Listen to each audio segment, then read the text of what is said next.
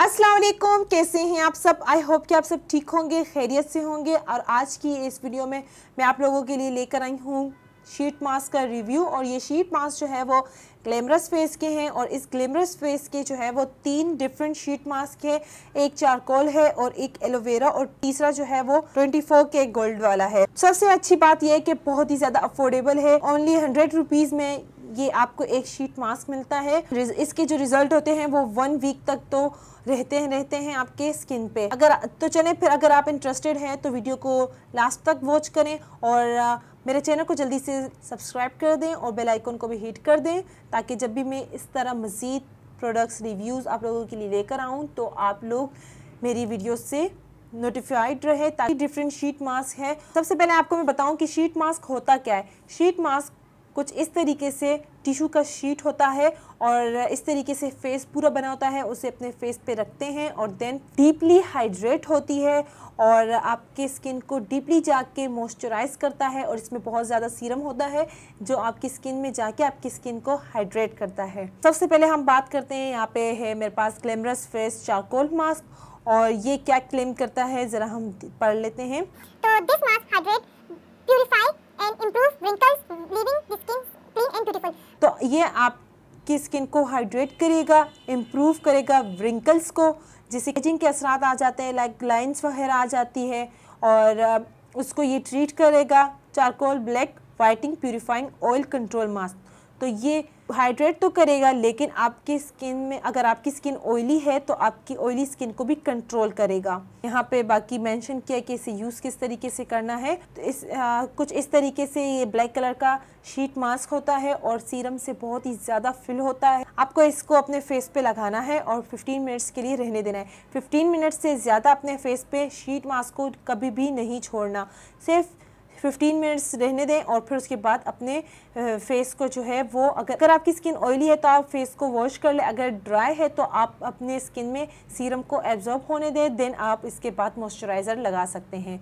तो एक इसका चारकोल मास्क है, दूसरा इसका एलोवेरा मास्क है और ये एलोवेरा मास्क आपको हाइड्रेट करता है रिच करता है, आपके स्किन टेक्सचर को रिच करता है और इंस्टेंटली एब्जॉर्ब हो जाता है आपकी स्किन में और स्किन को जो है वो अच्छे से न्यूट्रिएंट्स प्रोवाइड करता है। Aloe vera gel whitening hydrating mask है।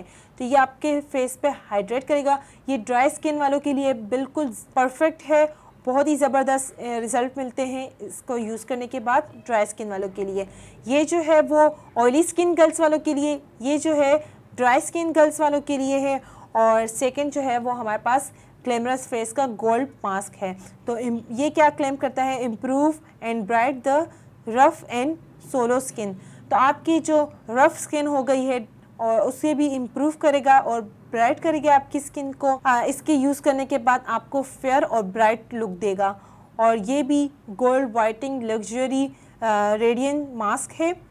और ये जो है वो 25 प्लस और एंटी एजिंग के लिए बिल्कुल परफेक्ट है। आप कोई भी स्किन टाइप की हो अगर आप इसे यूज़ कर सकती हैं इन तीनों को। आप एक एक करके ट्राई करें, जो आपके फेस पे सुटेबल हो, जो सूट करे, आप वो बाय कर सकते हैं। मुझे इन तीनों में सबसे ज़्यादा पसंद आया है चारकोल मास्क वाला। इसमें और इंस्टेंटली सॉफ्ट हो जाती है आपकी स्किन। और इनके भी रिज़ल्ट बहुत अच्छे हैं। और ड्राई स्किन वाले तो स्पेशली जिनकी बहुत ज़्यादा ड्राई स्किन है, आप एलोवेरा वाला इस्तेमाल करें और एंटी एजिंग वाले ये इस्तेमाल करें। तो जो ये शीट मास्क है, ये तीनों आपकी स्किन के डीपली जाके मॉइस्चराइज करेगा आपकी स्किन को और हाइड्रेट करेगा। तो इसे यूज़ किस तरीके से करना है, ये मैं आपको बता देती हूँ। अगर आपकी ऑयली स्किन है तो आप वीक में एक मरतबा इसे यूज़ करें। ड्राई और नॉर्मल स्किन है तो आप वीक में दो मरतबा भी इसे यूज़ कर सकते हैं। और ऑयली स्किन गर्ल्स जो है, वो फेस को वॉश करेंगी शीट मास्क इस्तेमाल करने के बाद और ड्राई स्किन और नॉर्मल स्किन वाले स्किन पे एब्जॉर्ब होने देंगे इनके सीरप और देन उसके बाद मॉइस्चराइज लगा देंगी। शीट मास्क जो है वो आपकी स्किन के लिए बहुत ही अच्छे होते हैं। आप ज़रूर ट्राई करें और मुझे फिर कमेंट सेक्शन में बताएँ कि आपको ये शीट मास्क किस तरीके से लगें। तो चलें, फिर मिलते हैं अपने नेक्स्ट वीडियो में। तब तक के लिए अपना ढेर सारा ख्याल रखें। अल्लाह हाफिज़।